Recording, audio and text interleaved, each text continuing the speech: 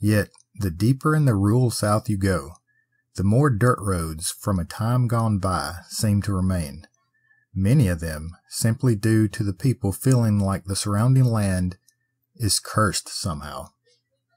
Now, a lonely dirt road named Ghost Town Road, with a site referred to as the Altar in the Woods by some and Devil's Rock by others. Okay, I'm in.